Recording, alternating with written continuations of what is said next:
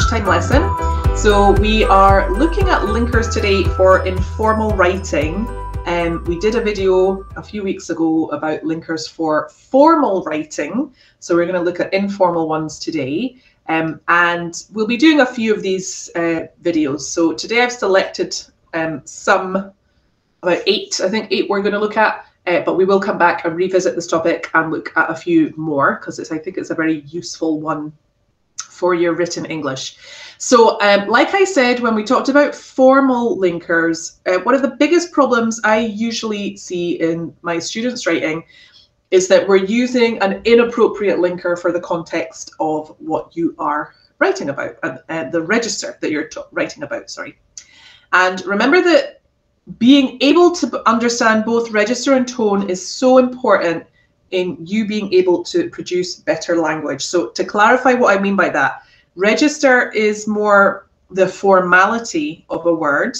So if it's considered better used in a formal or informal piece of writing, but tone will give color to your writing. So if you're writing a scientific paper, it will have a different tone to example a review and that's where your choice of words, collocations, phrases, and so on will will reflect your writing. So when we're thinking about our linkers, we need to think about a, a, mix of both, not only our register, but also the tone and when it's appropriate and what kind of writing it's appropriate to use in. Okay, so this is of course important in all kinds of language, but it's particularly important in writing for a few reasons. One of that is that when you're speaking to somebody, people can get like visual clues and um, they can get some ideas of what you're trying to communicate or how appropriate you're being uh, with your body language. But of course, when you're writing, the, your um, reader doesn't have those visual clues. So you can only use the language to communicate that you only get one chance in your writing. It's not like when you're speaking and you can correct yourself. So that's a really important reason to consider uh, your appropriacy. And also, it'll lower the quality of the language that you're producing if you're the if the words that you're using are not appropriate for the register and the tone. Okay, so we're going to have a look at some commonly used and very often misused informal linkers for writing. We're going to have a look at examples. Uh, we're going to have a look at how we should use them and also just to clarify uh, some which can be confused because they're quite common words. So uh, it can sometimes, we can sometimes confuse them for a different function. Yeah. Um, if you are planning to do or are doing any exams in English, remember that this is key vocabulary for you because it will contribute to your mark. When you're doing a B2 level or higher exam in the marking criteria, it always says that you have to produce a wide variety of cohesive devices. So that means not using the same ones all the time. So it's important for your um, exams you also uh, should, for your exam, be able to understand and use them appropriately. Um, and of course, the other advantage of informal linkers is that we get to use them not only for our writing, but also for our speaking. So they're great pieces of language to bring into your, your spoken English for your day-to-day -day English, but also for your exams as well. So these are the ones that we're going to be looking at in detail today. Like I said, in another session, we'll look at some more but we're going to be talking about also, however, even though, to, to, having said that, so and so that. Okay.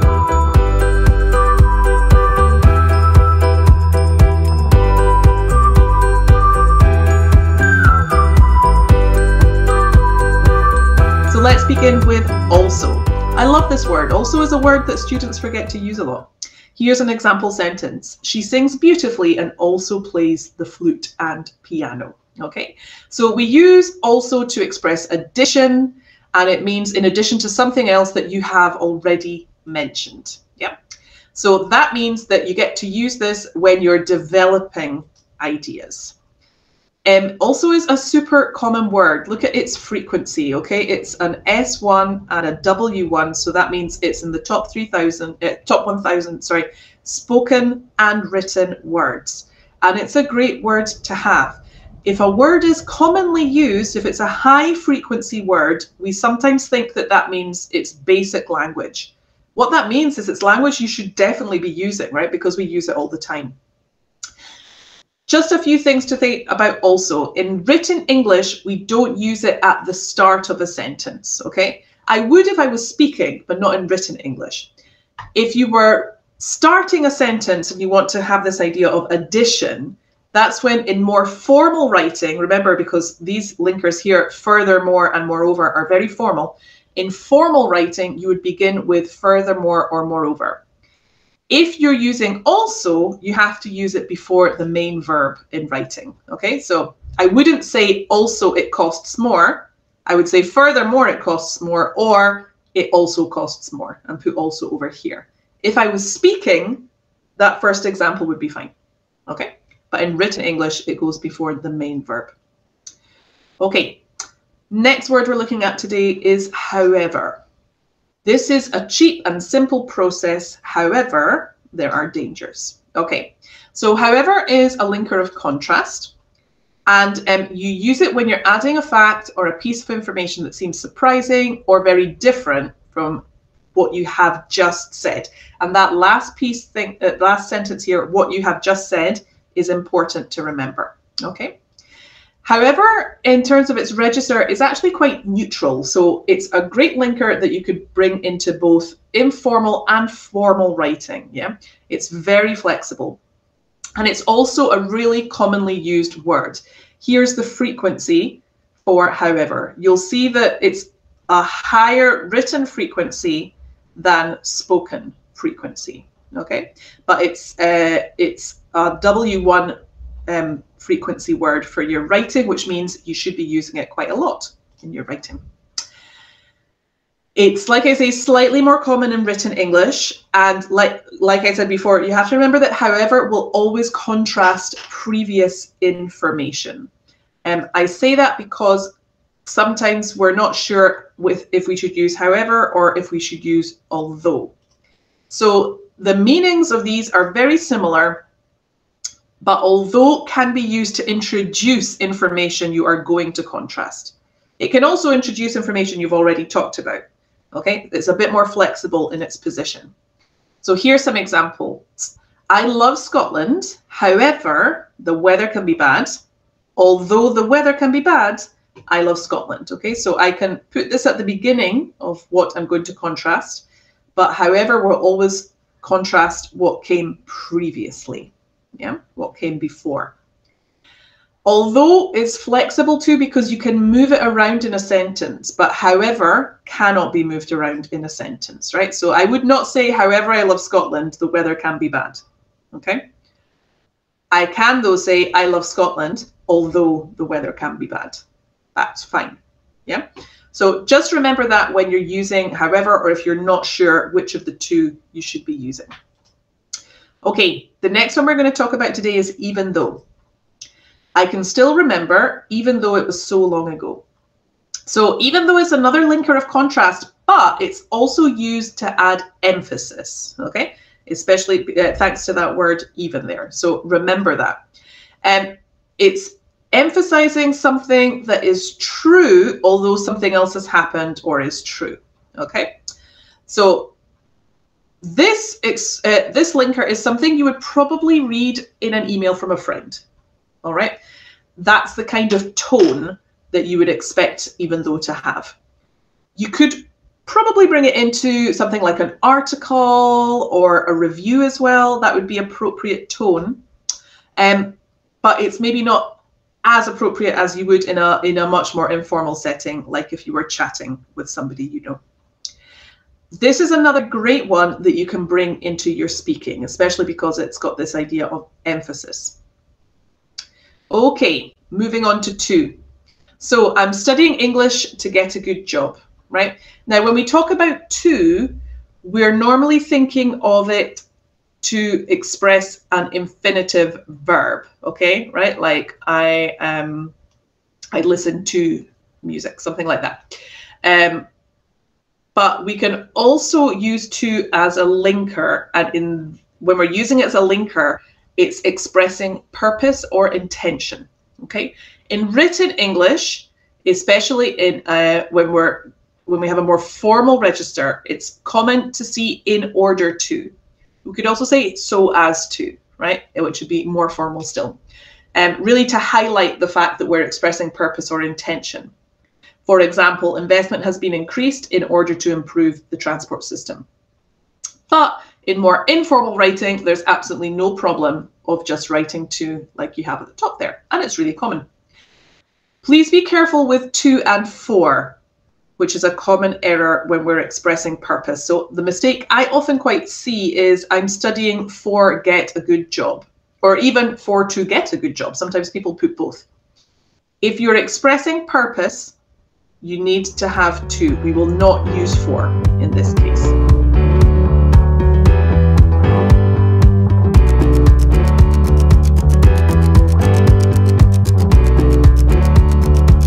Now, very similar to two.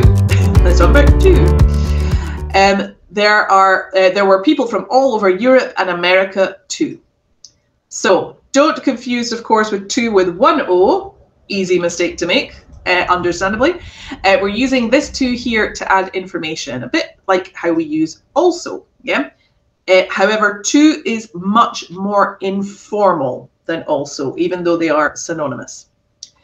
So you can also use the word too as an adverb, which means more than acceptable, right? So you would see it in examples like this. The music was too loud. That's a totally different function to what I'm talking about. Yeah, that's a different use. So watch out, it's really confusing when we have these informal linkers because they're quite often repeated with different functions in English. So this here is an adverb, not a linker. When we're using too uh, in order to add information and as a synonym of also, you have too put it at the end of a sentence, okay? So I also like reading, but if I was using to, I'd say I like reading too, okay? Your position is going to be important. Right, moving on to having said that. So the diet can make you slim without exercise. Having said that, however, exercise is important too. So having said that is a contrasting linker. Um, we're using it to say that something is true in spite of what you have just said. It's great if you're trying to sort of compare or weigh up an argument. Yeah. So if you want to look at both sides of something. Um, this is a brilliant linker that you can also bring into your speaking. It's fantastic. And it's um, important though to think about the tone of having said that. Okay, so when is it appropriate to use it? So here's a big selection of examples of corpus. Yeah, you'll see that there's lots here that start with the word but. But having said that, but having said that, but having said that, yeah. Uh, you can see that all of these here, they're much more conversational in tone. And what most of them are doing is expressing personal opinion. Okay.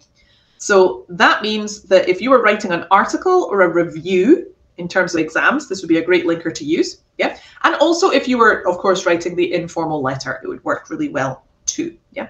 But it's generally to bring in personal opinions and it's also usually used to um, look at both sides of an argument. Moving on to so. I was feeling hungry, so I made myself a sandwich. Right, so so in this example is being used to express the consequence of something. Um, we use this to say that you do something because of the reason just stated. So basically, this is what I did, and this was the consequence of that. This was the reason why. Um, again, so is one of these words that has lots and lots of different uses. Okay, so if we're using so as a linker, you're always going to have to connect two clauses. It's more commonly used in spoken English, but you can also bring it into your writing. In written English, in a more formal register, you're going to see words like therefore or consequently. Okay, but remember here we're thinking about formal writing. So she had previous experience, therefore she seemed the best candidate. Yeah. Again, though, if you're doing an email to a friend, for example, then this is a brilliant choice for you to use and it's fantastic for your speaking. You should definitely be bringing it into your spoken English. We did an entire lesson on so, and the different uses of so. Um, so if you want to go into more detail for that, I recommend going back. If we have a look at the frequency there, you'll see that it's a S1 here, so higher in spoken English, but it is still in the top 3000 for written English. So it's definitely one that's good to use in your informal writing. Very similar to so is so that, right? Why don't you start, start out early so that you don't have to hurry? So, so that here is being used to express purpose. Yeah, it's different from the previous one we just saw as so being used as a consequence. And when we use so to express purpose, it will be followed generally by can or could or will or would and a verb. Yeah, like this. He lowered his voice so that Doris wouldn't hear. Okay, you'll notice that we've got a noun in there, right? So you'll have to have some kind of a noun following so that da da da da wouldn't hear. Um, here's another example. She's studying English at night school so that she can go to university. Okay, so you can see how we're using our modals here. Can here, would here. Okay, it's not necessary to use that. You can omit it, yeah? And in informal writing and speaking, it's very common to leave it out. So I might just say, we've planned a variety of activities, so there'll be something for everyone. Oops, okay. And I can take away that or I can keep it in, yeah? I do need to use so. Right, okay, so we planned a variety of activities, so there'll be something for everyone. Right. This can make it a bit more confusing because obviously then it looks the same as the previous so that we saw for a consequence. Okay. So let's have a go.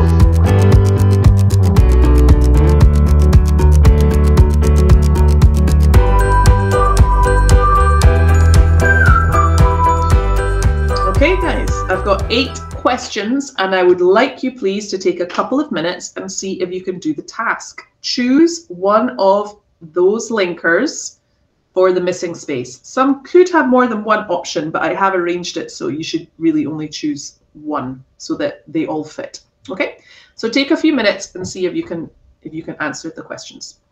Okay, so let's look at these answers. So our first one, guys, should have been too. Edinburgh's a wonderful city and beautiful too. Number two was even though I re recommend going, even though it's quite far.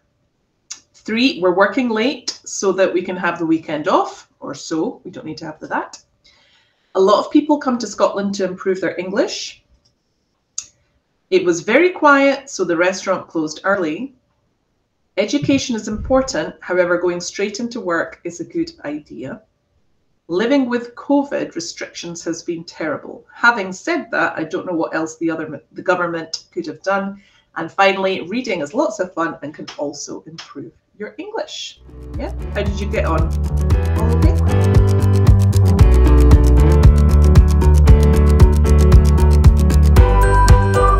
Just to finish with, a few important things to remind you. First of all, what I, I mentioned this a little bit earlier, please remember that informal or high frequency language, so language that we use in informal situations and language which scores very highly on frequency, isn't bad language. I feel like sometimes we we think that because a word is used a lot, um, then it's not a, a good word to bring into your own language. You'll probably sound a bit weird right? If you're speaking English and using what you consider to be better or posher language in normal day-to-day interactions, okay? You're, you're just going to come across a bit strange because that language isn't appropriate for that register and that tone and that situation, yeah? Um, there's a reason that these words are high frequently frequency words and that's because we use them so much in the language and they're convenient and they allow us to express what we need to express. Yeah. So of course, keep learning new vocabulary, keep challenging yourself, keep bringing new expressions into your writing, but just make sure it's appropriate for what you're for what you're producing. And remember that this kind of language that many people sometimes consider basic is great language, and it's language that you should use and you should know. Okay. And finally, um, we talked about this in our last focus on linkers. But just a reminder that if you haven't been to this website, this is a great free tool from Cambridge English called Write and Improve. and it's this little website here. It's totally free. Um, you get to you just need to sign in, log uh, sign up, sorry, and your writing will go in, and you'll get automatic grades and feedback for your English writing. Okay, never as good as a teacher, obviously, uh, which is why I recommend still having a real life teacher, not just uh, a robot. But it is great for you to do your own practice with writing and use that tool. Okay, great. Well, best of luck with your writing, and I look forward to any